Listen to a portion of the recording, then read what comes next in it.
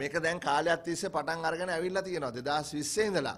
හැබැයි දැන් මේක කවුරු හරි අනුමැතිය දෙන්න එපැයි මේ මේ මේ ඩොලර් මිලියන 106 ගානේ පුද්ගලික කොම්පැනියකට මේ පාරට ගෙවන්න ඩොලර් මිලියන 1620ක්. ඒක මුදල් අමාත්‍යාංශයෙන් එන්න එපැයි. වෙන කාගෙන්වත් මේක මේ අනුමැතිය ගන්න බෑනේ. ඉතින් මේ අනුමැතිය ගන්න වෙන්නේ බැසිල් අ, මුදල් ඇමතුමාගෙන් ඇරෙන වෙන කාගෙන්ද? නෑ නෑ වැඩ පටන් අරන් තියෙන්නේ කොහොමද කියලා අපි දන්නෙත් නෑ. කොහොමද වැඩ පටන් ගන්නෙ නඩු තියෙනකොට? කොහොමද වැඩ පටන් ගන්නෙ ඇග්‍රීමන්ට් එක අනුමැතිය අ, නැතුව? එතකොට මෙ- දැන් ඒ කියන්නේ ජනතාවට මේක සම්පූර්ණයෙන්ම වසන් කරලානේ මේ කරන්න කියලා තියෙන වැඩේ. මොකද ජනතාවට කිව්වේ අපෙන් වියදම් වෙන්නේ නෑ. මේක ඒගොල්ලෝ වියදම් කරන්නේ. අපෙන් සතයක්වත් යන්නේ නැහැ. පීබී ජයසුන්දර මහත්තයාගේ ලියුමේ පැහැදිලිවම තියෙනවා. ආණ්ඩුවෙන් ඇනුවිටි දෙන්නෙත් නැහැ, ට්‍රැෆික් ගැරන්ටි එකක් දෙන්නෙත් නැහැ, මාස 6න් ගෙවන්නෙත් නැහැ. ජනාධිපතිතුමා කිව්වා මේවා හදන්න ණය ගන්නෙත් නැහැ. එහෙනම් කොහෙන්ද මේ ඩොලර් එක- මේ මිලියන 106 ගාන ඒ 6 ගානේ අවුරුද්දකට ගෙවන්නේ? බැසිල් මහත්තයා ඇමරිකාවෙන් ගේනවද?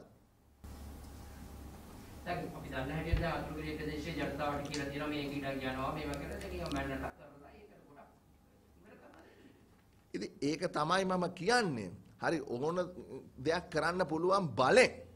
හැබැයි නීති අනුකූලව කරන්නත් එපා. එතකොට අතුරුගිරිය සුද්ධ කරාට කොහෙන්ද අතුරුගිරියට මම පාර එන්නේ රාජගිරියෙන් බත්තර මුල්ල හරහා දෙන්නේ. එහෙමත් නැත්නම් පල්ලෙහෙන් ගිහිල්ලා වෙන තැනකින් දෙන්නේ. හරි, රැම්ස් එක හරහා දෙන්නේ. එතකොට රැම්සා ඒක තමයි අපේ රටේ තියෙන නීතිය. එතකොට මේ නීතියට ගරු කරන්නේ නැද්ද? එතකොට නීතියට ගරු කරනවා වෙනකොට නීතිය වෙනස් කරන්න දෙන්නේ. ඒක නෙමෙයි කරන්න හදන්නේ. මේ රටේ පරිසරය ගැන මේ ආදරයක් තියෙන මිනිස්සු කැමති වෙයිද? නීතිය වෙනස් කරනවට පරිසරයේ මේ එකඟ වෙලා තියෙන නීතිය. නීතිය වෙනස් කළ පාර හදන එකද කරන්න ඕනේ? එහෙමත් නැත්නම් පරිසරය ආරක්ෂා කරලා පාර එහෙට මෙහෙට කරන එකද කරන්න ඕනේ? දැන් රම්සානාමේ දෙන්නේ මේ රම්සා දෙත්තිදා කියන්නේ ලෝක සංවිධානයේ කියන්නේ ඔව්, ඔව්. කොහොමද නීතිය වෙනස් කරලා ඒක රම්සා දෙත්තිබා නොවේ කියන්නේ නෑ ඒගොල්ලෝ කරන්න හදනවයි කියලා කියන්නේ රැම්සා තෙත්බිම තියාගෙන ඒකේ කරන්න පුළුවන් දේවල් මොනවද කියලා නැවත කැසට් කරන්න යනවලු. ඒතකොට රැම්සා තෙත්බිමේ පාරක් හදන්න පුළුවන් කියලා කියන්නලු යන්නේ. මේකේ මේ කණු මත ඉදිවෙන අ, මාර්ගයක්. හරි.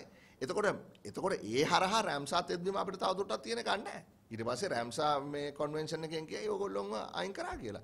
ඉතින් මේක දැන් මේ සම්බන්ධයෙන් විකල්ප මාර්ග ට්‍රේස් විකල්ප මාර්ග මා- මාර්ග මේ මේ මේ මැප් මොනවාද? ඒ මාර්ග ඒ ට්‍රේස් දීලා තියෙනවා ගොඩක් තියෙනවා විකල්ප.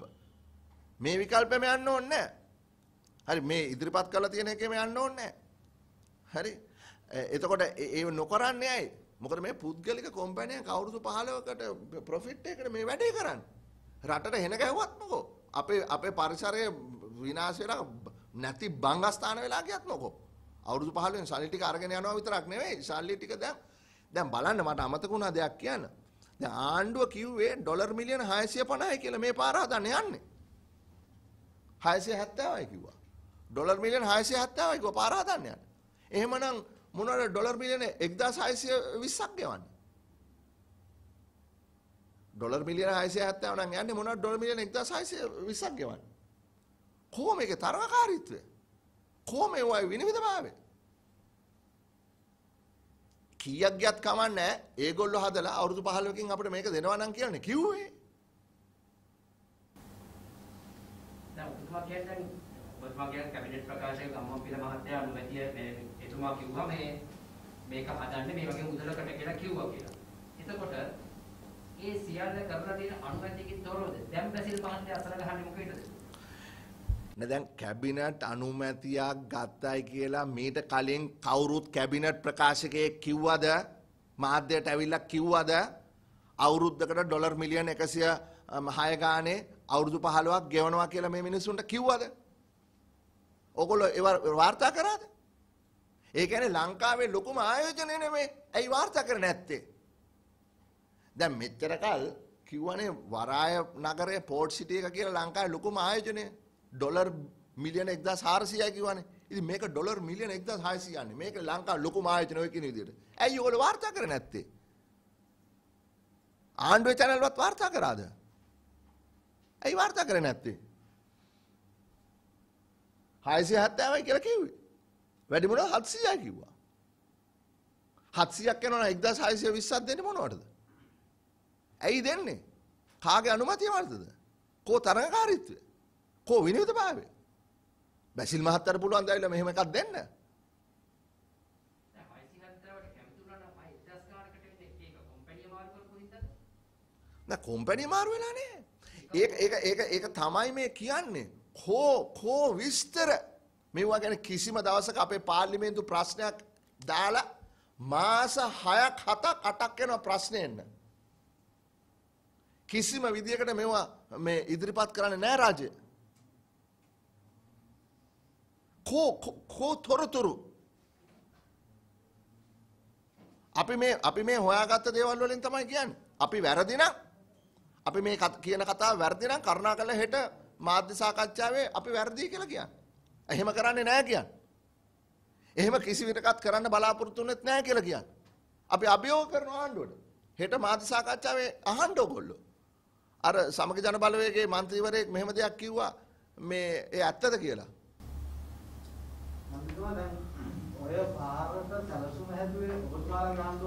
ඒක හරි. එතකොට ඒ ඒ සැලසුම කොහොමද එතකොට තිබුණේ?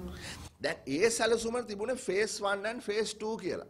හරි ඒතර ෆේස් 1 එක නවකැලණි පාර්ලිමේන්තුවේ ඉඳලා රාජගිරිය හන්දියට. එතකොට එතන මං හිතන්නේ කිලෝමීටර් අ, 6.9ක් වාගේ ගාණක්. දෙවනි ෆේස් එක තමයි රාජගිරිය හන්දිය ඉඳලා අතුරුගිරියට. හරි ඒක තමයි ඉතුරු 11යි ගාණක් හරි 10යි ගාණක් කිලෝමීටර්. ඒතර පළවෙනි එකට විතරයි feasibility study කරලා ඒවයි approval අරගෙන ඔක්කොම කරලා තිබේ පළවෙනි ෆේස් එකට විතරයි. හරිනේ? ඒක පළවෙනි ෆේස් එකේ නෙමෙයි මේ ප්‍රශ්නේ තියෙන්නේ. මේ ප්‍රශ්නේ තියෙන්නේ දෙවෙනි ෆේස් එකේ. ඒ කියන්නේ රාජගිරියේ ඉඳලා අතුරුගිරියට යන ෆේස් එකේ. ඔය අනිත් එක අපිට ආරංචි වෙන විදිහට මම මේ ගිය රජයේ මේකට කිසිසේත්ම සම්බන්ධ වෙලා හිටියේ නැහැ. මම මේ හොයාගත්ත කාරණාවලින් තමයි මම මේ කතා කරන්නේ.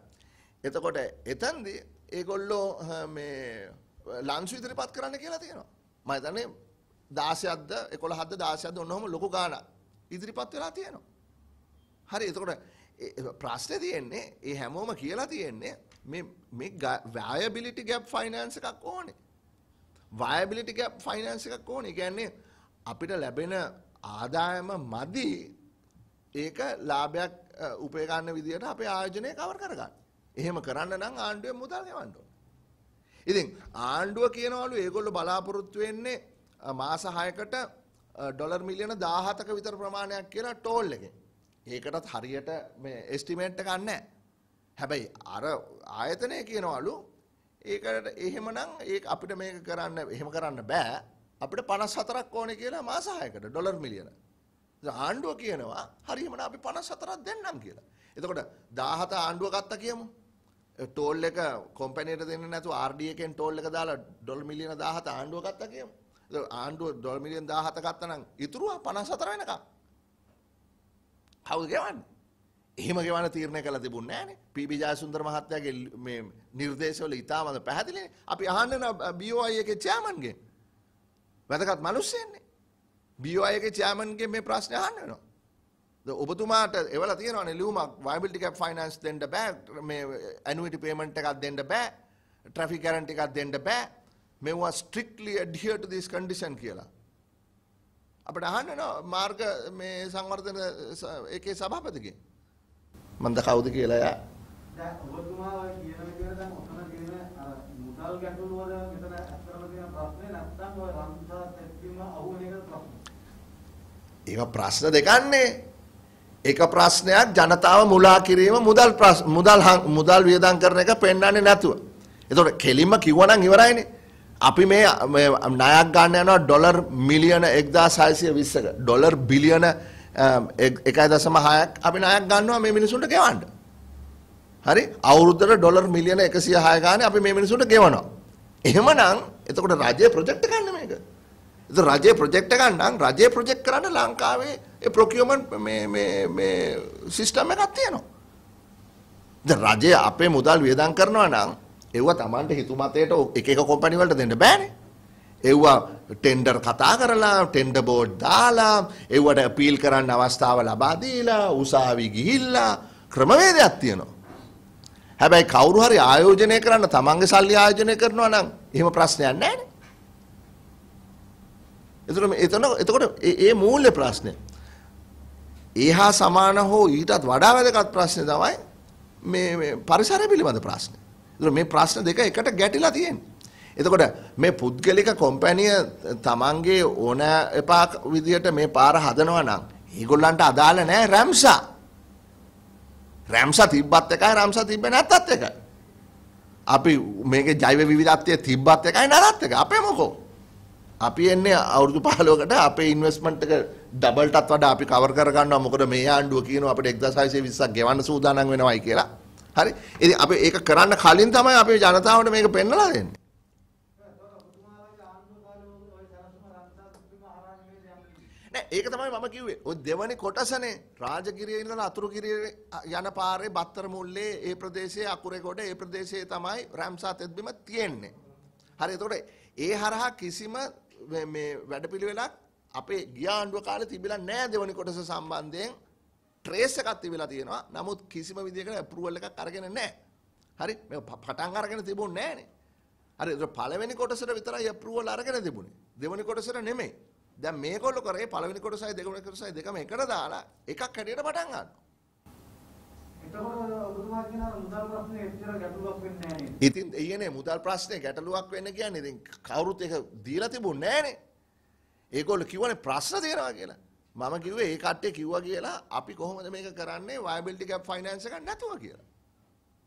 එතකොට මේකේ මේකේ feasibility එක මේකේ ශක්්‍යතාවය පිළිබඳව ගැටලුවක් තියෙනවා පුද්ගලික ආයතනයට මේක කරන්න පුළුවන්ද බැරිද කියන එක. එතකොට ආණ්ඩුව මාරු වෙනකොට තිබිච්ච తත්වය තමයි මේක කරන්න පුළුවන්ද දන්නේ නැහැ අ, මේ මේ පුද්ගලික ආයෝජකයක් පමණක් හැටියට BOT එකක් හැටියට. අර මං කියපු කලින් කාරණා තු- රාශියක් නිසා.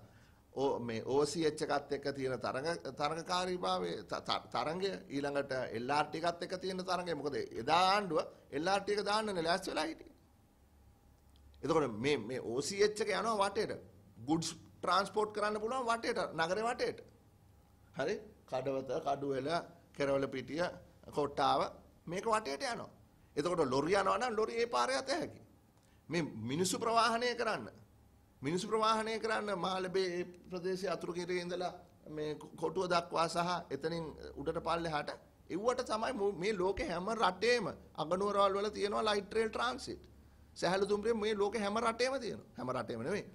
බොහෝ රටවල් වල තියෙනවා. එතකොට එවැනි දෙයක් තමයි අපිට අවශ්‍ය වෙලා තිබුණේ. නමුත් ඒ වෙනුවට මේ පාර හදන්න කියේ. පාර හදන්න අය හදන්නේ. එතකොට මේකේ මූලිකම මේ පාරේ අවශ්‍යතාවය පිළිබඳවත් මේ ශක්්‍යතාවය පිළිබඳ ප්‍රශ්න පැන නගිනවා. හරිනේ? නෑ නෑ අමතරේ වහපා. දැන් මේ තව දෙන්නෙක් ඉන්නවා. ආර්ථිකයේ. ආර්ථිකයේ හා සම්බන්ධව දැන් මුදල් නැමැති කෙනෙක්පත් වුණා. ඔව්. දැන් ඔබතුමාට කතා කරන්න වෙන්නේ ඊට පස්සේ එතුමා කරන දේවල් ගැන තමයි ඔබතුමාට කතා කරන්නේ. එතකොට එතුමා මොනවා කරයිද ඔබතුමාගේ එක පෞද්ගලිකව. ඉතින් එතුමා මේ එදා ඉඳන් හිටියානේ. මේ අද ආපු නෙවෙයිනේ බැසිල් මහත්තයයි, ගෝඨාභය මහත්තයයි, මහින්ද මහත්තයයි, චමල් මහත්තයයි 2005 ඉඳන් මේ ඉන්නේ. මුදල් නැමැති කෙනෙක් කියන්නේ. මුදල් ඇමතිකමේ හිටියද නැද්ද කියලා ඇති වැඩක් නැහැනේ. ඔයා කියන්නේ 2000 ඒ කාලේ කවුද මේවා පාලනය කරේ? පවුල ඇතුලේ තීරණ ගත්තේ. ඒතර අයියලා මල්ලා හත පස් දෙනා වාඩිලා තමයි තීරණ ගත්තේ. දැන් මේ හදිස්සිය කියනවා මේ 2005 ඉඳන් මේ කට්ටිය මෙතන ඉන්නේ. අද ඊයේ නෙමෙයි. යහපාලන ආණ්ඩුවේ හිටිය අවුරුදු 4මාරයි. හරි. දැන් මෙතන අපි කතා කරන්නේ අවුරුදු 15. දැන් අවුරුදු 10කට වඩා මේ කට්ටිය ඉඳලා තියෙන. අවුරුදු 16ක්. එතකොට කාට හරි පුළුවන්ද මේ අවුරුදු 4මාට මේ මේ සියලු දේ පටවන්න? බෑ. එතකොට මේගොල්ලොන් එදා ඉඳන් මේක කරගෙන ආවා. ණය මම හිතන්නේ මම කොහෙද ලියාගත්ත දෙගුණ කරලා තියෙනවා. හරි දෙගුණ නෙමෙයි මම කියන්නම් මේ මේ මේකේ මේ මේ මම මේක ලියාගත්තා මේ කාරණා දෙක තුනක් විතරක් ඇහුවොත් කියන්න කියලා. මේ මේක අහගන්න. හරි. ආ ආ ආ ආ කොහොමද? හරි මේ තියෙන්නේ ආ, ණය ටික.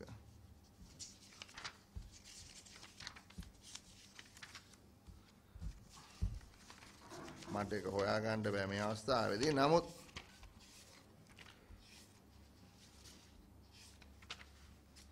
අමේදින් සහෝදර සමාගම 2004 ඉඳන් ණය බර මිනිසුන්ට ණය පටවපු හැටි.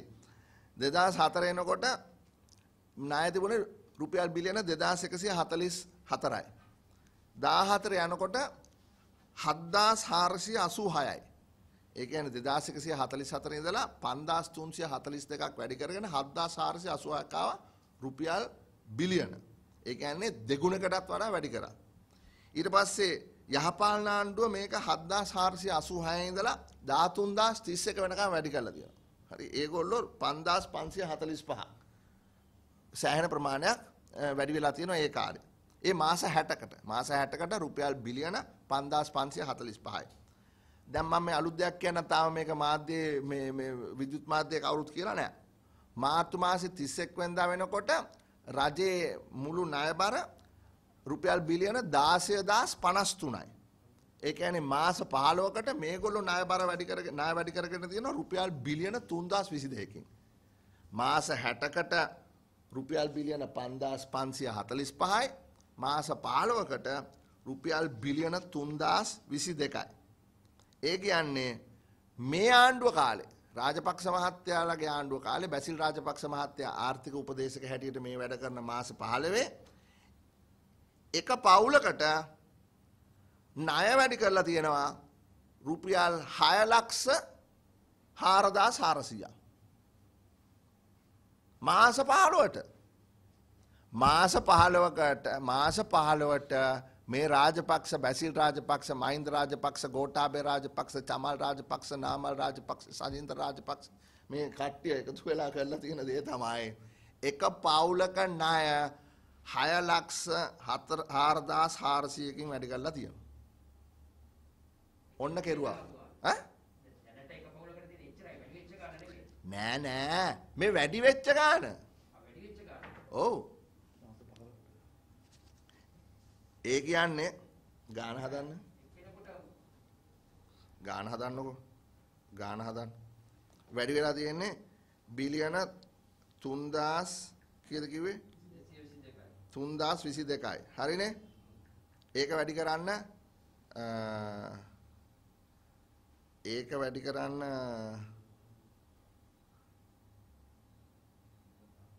නෑ 3000 මේක 200 වැඩි කරන්න මේ රුපියල්නේ නේ 3022යිනේ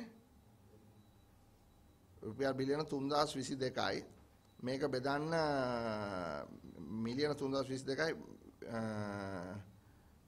20ෙන් බෙදුවාම 151000යිනේ නේ?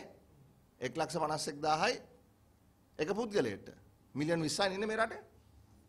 පවුලක හතර දෙනෙක් හිටියයි කියමු.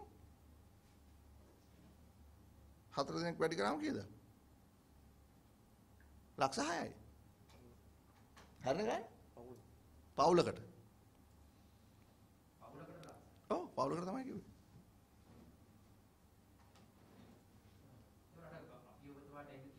ඔව්.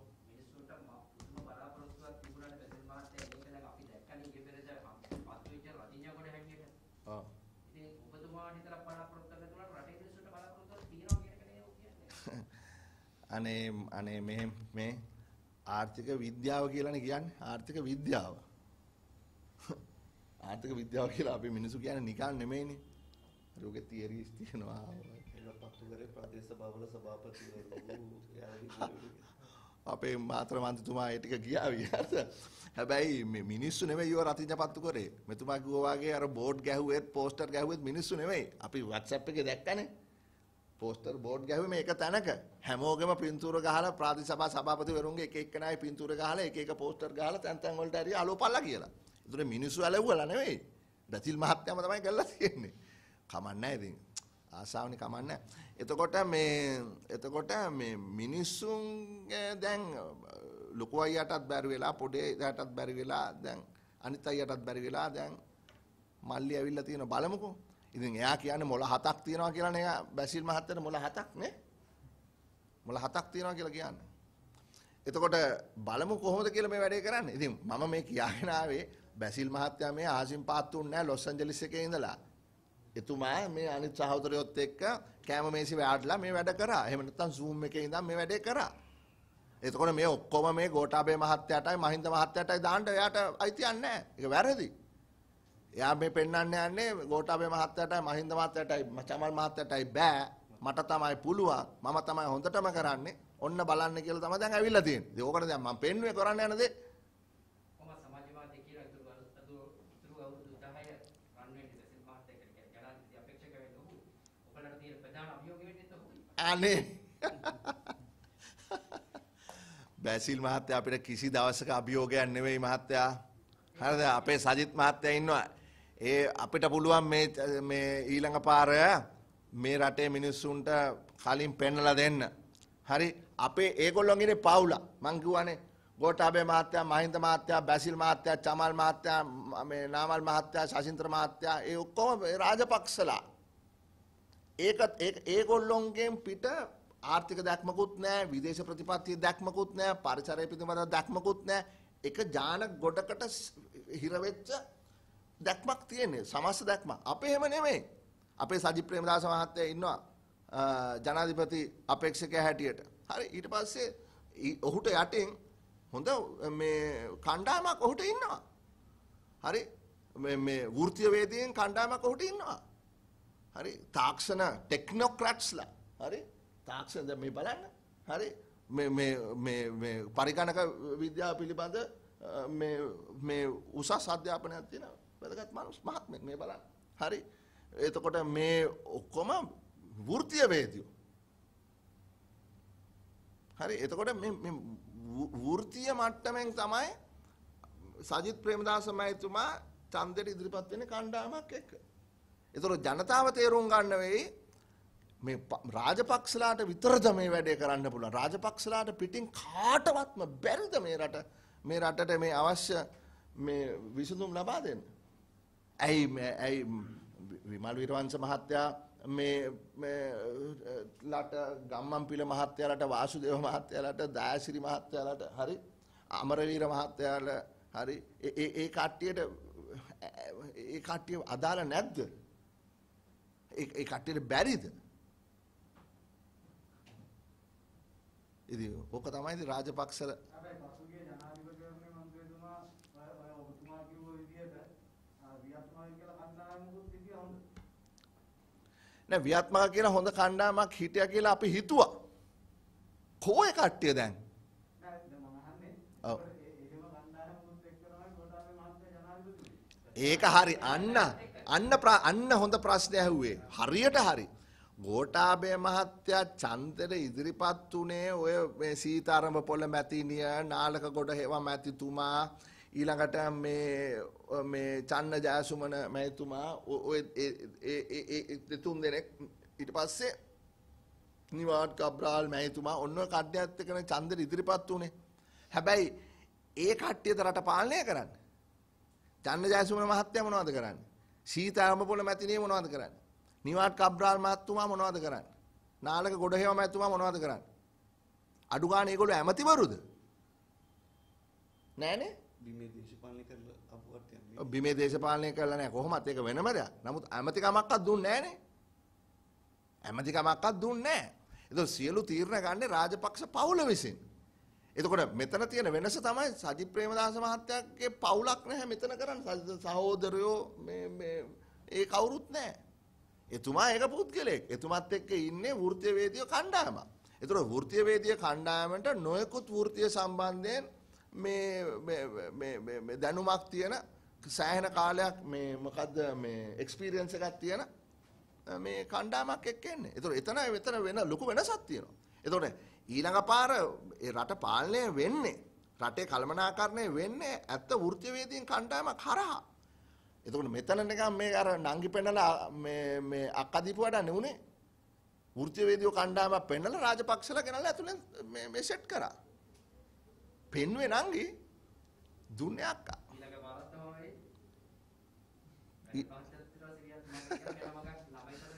අයියෝ අනේ දැන් උදේ ඉඳන් hina වෙලා ඉන්නේ දැන් ඇත්ති මට තව hina ගස්සන්න එපා. Thank you.